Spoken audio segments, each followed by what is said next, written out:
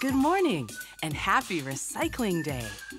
You've been doing a great job putting all your paper, cardboard, recyclable plastics, glass, aluminum, and tin in your blue cart.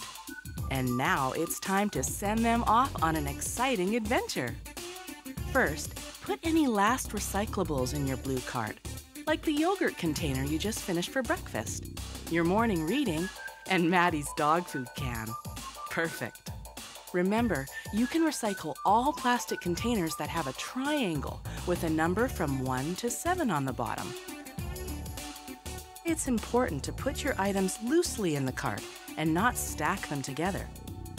Then roll your blue cart out for collection, making sure the arrows on top point to the street or alley. Be sure your cart is out before 7:30 so you don't miss the recycling truck. When the recycling truck comes by, it lifts the cart way up to tip your recyclables into the back of the truck. See how much space it takes to pick up and lift the cart? There needs to be 4 feet of space around and 15 feet above so the truck arms can reach around and lift the cart into the truck. Also, see how the lid opens to let the recyclables slide into the back of the truck? The lid needs to be closed when you put your cart out so nothing falls out onto the street when the carts are emptied.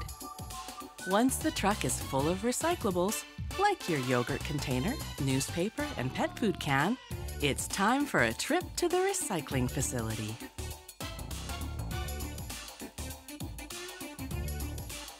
The truck drives right inside the building to keep paper and other light things from blowing away. Then the driver dumps all of the recycling out onto the floor. It takes a little while for all of the recyclables to come out since the truck is so full. Workers will remove any big items that aren't part of the Blue Cart recycling program. Sometimes they find toys, car batteries, tires, bags of garbage, clothes, and appliances. In some cases, they find dangerous items like helium and propane tanks or needles. Those things aren't accepted and can even be dangerous to the staff. It's important that you only put acceptable recyclables in your blue cart. Did you know that we can all save money when we recycle properly? The city pays a higher rate when the recyclables have a lot of garbage and unacceptable items mixed in with them. But our rates are lower when people are careful to only put acceptable recyclables in their blue carts. Staff take the glass jars and containers out by hand.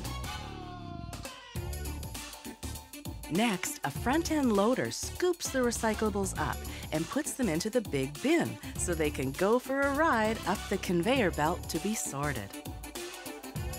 Here's how we sort all the different recyclables so they can be made into new things. These discs turn, lifting the cardboard and sorting it out. Paper and magazines are sorted from the rest of the recyclables by other turning discs. Plastics are sorted with fancy computer eyes that can tell the difference between the types of plastic. When the eye recognizes your yogurt container, it sends the container to the right place with all the other yogurt containers.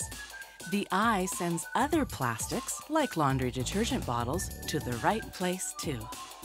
Staff do additional sorting by hand to remove anything that is missed by the automated process. Tin cans, like the kind Maddie's food comes from, are sorted out by a very large magnet. Aluminum cans are sorted out by a special kind of backwards magnet. The cans are sorted into the right place.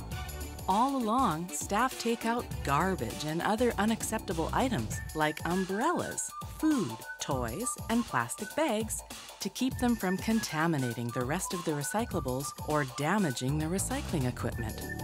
The staff appreciate it when people are careful to recycle properly.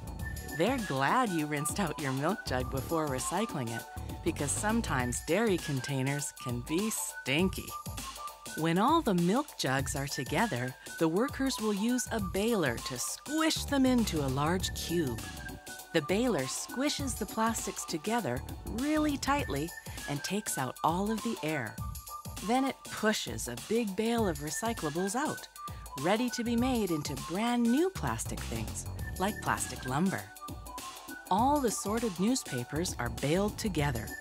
Cardboard is baled separately from newspaper, so remember to keep them separate in your blue cart. All the tin cans are baled together too. When all of the recyclables are sorted and baled, they're sold to other companies to be turned into new products. Your old newspaper could be used to make new newspaper. And Maddie's dog food can could be turned into a part for your car.